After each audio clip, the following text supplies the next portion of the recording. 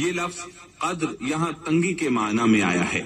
कुदरत और ताकत रखने के माना में नहीं। अल्लाह ताला ने कद्र बमाना तंगी और कद्र बमाना कुदरत दोनों का इस्तेमाल किया है। तंगी के माना की मिसाल सूरत तलाक आयत नंबर सात में है।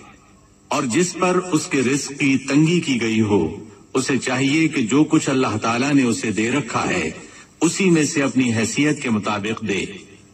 तो इस आयत में भी यही माना मुराद है कि उन्होंने गुमान कर लिया, हम उन पर तंगी नहीं करेंगे। यानी उनका ख्याल ये था कि अगरचे वो अल्लाह ताला की इजाज़त के बगैर अल्लाह उन पर तंगी नहीं करेंगे, क्योंकि वो अल्लाह के एक मुआजज नबी और रसूल हैं और उनकी कौम के लोग अल्लाह की गिरफ्त और उसके अजाब के मुस्तक हैं। उन्हीं पर अल्लाह का अजाब नाजिल होने वाला है। इस अजाब की खबर उन्हें पहले ही सुना दी गई है।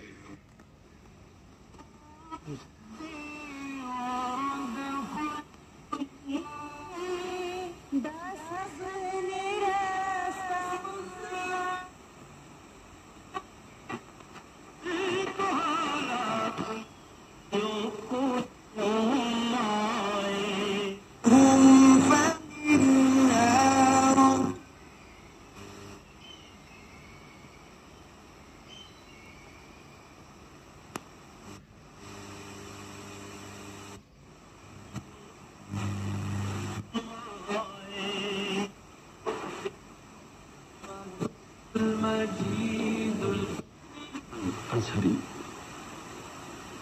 अशाद नबी सल्लल्लाहु सलाम ने उन्हें आगाह किया नहीं साई कहते हैं कि यहूदी रस्ते पर नहीं ही पढ़ते हैं कौम पर आया था वो उसके बारे में भी अच्छी तरह जानते थे वो बस्ती उनकी बस्ती के करीब ही थी